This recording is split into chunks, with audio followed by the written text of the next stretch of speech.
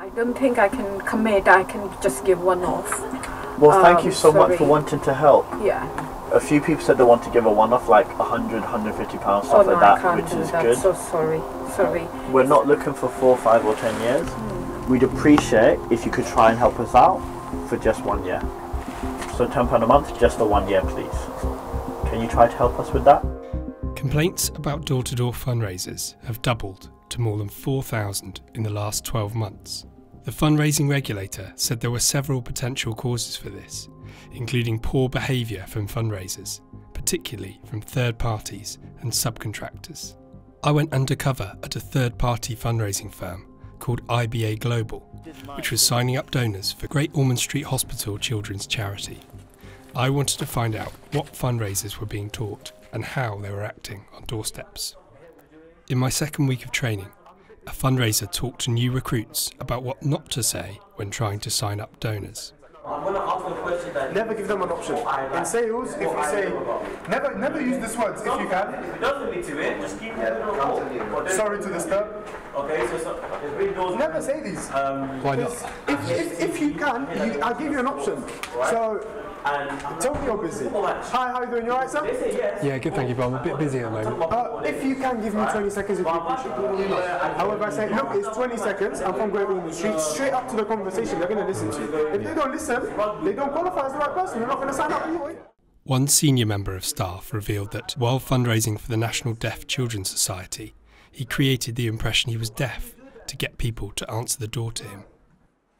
I remember this is very cheeky for the when I used to do National Deaf Children's Society, okay? And then people in the or whatever, just come. They come on the door very apologetic. I'm so sorry. I'm not uh, uh, you deaf? No, by the way, I'm not deaf. Mean, I'm just, I mean, I work on behalf of them. Thank you very much for your time.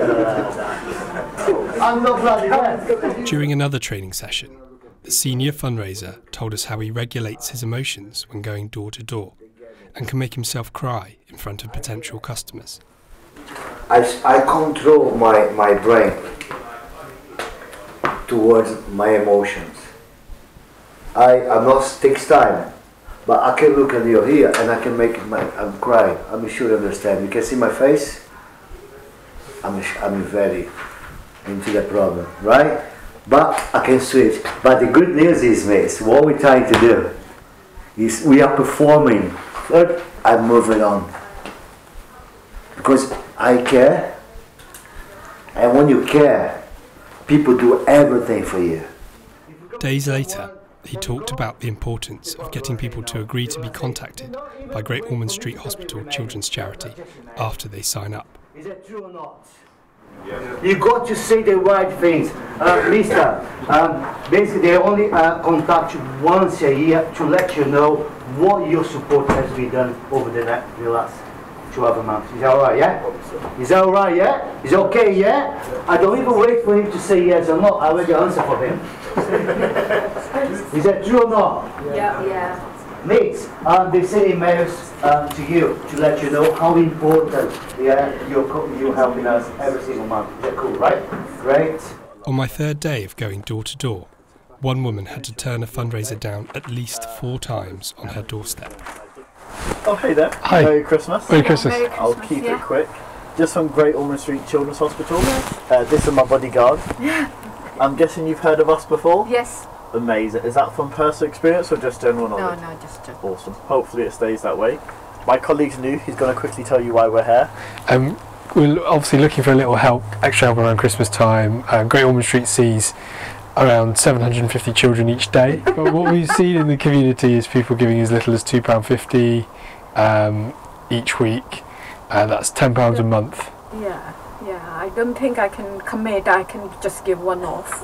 Well, thank Um, you so much for wanting to help. Yeah, It really does go a long way. yeah. Like- I can't commit to every month. Sorry. Given that the woman had clearly said she cannot commit to monthly payments, this should have been the end of the encounter. But the fundraiser kept trying to sign her up. Amazing. Uh, yeah, yeah. But. Um, well, I get what you mean. A few people said they want to give a one-off, like 100, 150 pounds, Oh no, like I can't which do is that. good. So sorry, sorry.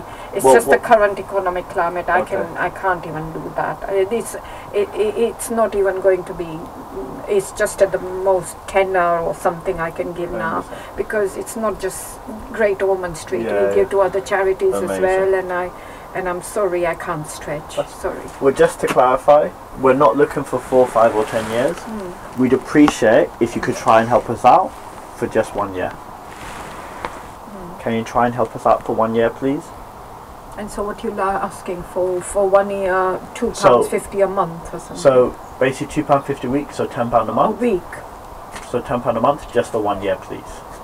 Can you try to help us with that? I'll have a think. Can can you leave me something? At the moment, I'm We a little bit. I'm us on- expecting some guests. That's so fine. Well, Great can Ormond Street. Hospital, you Yeah, can find yeah, us online. yeah. Good luck with the guests. thank you. Thank Bye now. Thanks.